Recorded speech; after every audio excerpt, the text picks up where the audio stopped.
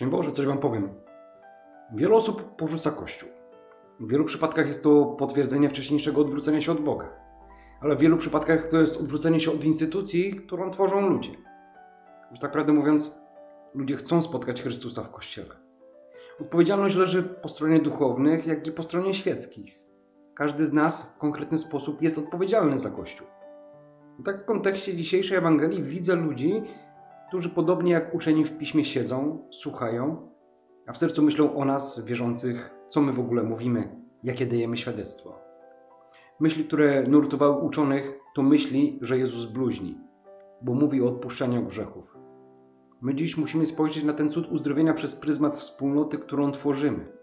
Wiele rzeczy nie może się wydarzyć, jeśli nie ma jedności ducha, jedności myśli i jedności serca.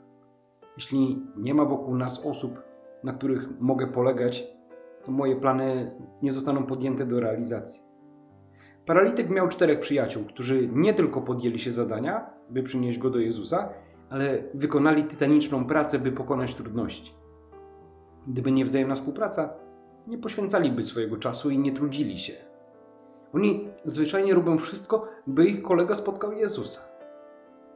Często paraliżuje nas lęk przed tym, co jest przed nami. Sama myśl o tym, że możemy coś zrobić, nieraz jest trudniejsza niż samo pokonanie przeszkody. Pomyślmy więc, czy faktycznie jest tak, że jako człowiek już nic nie mogę zrobić dla kościoła i w kościele lokalnym, czy swoim zachowaniem przyprowadzam ludzi do Jezusa, czy ich odstraszam? To nie są banalne i retoryczne pytania, ale konkretne i bardzo istotne. Człowiek może bowiem bardzo wiele, jak tylko chce, ale i wtedy, a zwłaszcza wtedy, gdy nie pozwoli na to, aby lęk zawitał w jego serce. Ten lęk przed opinią, przed myślami innych najbardziej nas paraliżuje. Grzech jest największym naszym obciążeniem, że nie podejmujemy działań. Grzech jest niczym rak, który zżera naszą duszę. Rolą grzechu jest trzymanie nas na uwięzi, która nie pozwala wzbić się wyżej. Nie pozwala nam także na taki ruch, który przebiłby działanie kogoś innego, bo zaraz znajdzie się ktoś, kto powie: Nie wychylaj się, po co ci kłopoty? Odpuść sobie. Lecz to nie ja mam sobie odpuścić. Od odpuszczania właśnie grzechów jest Jezus, o którym anioł mówił Józefowi, że Jezus zbawi ludzi od grzechu. Jan Chrzciciel mówił, to jest baranek Boży, który gładzi grzechy świata. Ewangelii podają tylko dwa przykłady, kiedy Jezus faktycznie odpuszcza grzech, ale za tym idzie uwolnienie człowieka z niemocy czy też choroby. Wolność od przywiązań, czyli od grzechu, sprawia, że możemy o wiele więcej, a nasze działanie jest o wiele swobodniejsze.